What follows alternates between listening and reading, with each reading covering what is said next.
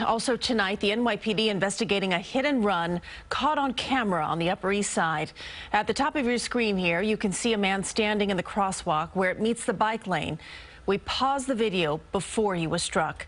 About a minute later, what looks like a moped is seen speeding away. This crash happened just after 1.30 this afternoon at 86th Street and 2nd Avenue. We spoke to a witness who says everyone around the victim jumped in to help.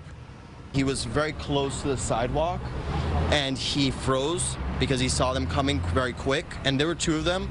Really a lot of people from the diner in the neighborhood really right away came into his help for him and the ambulance came right away.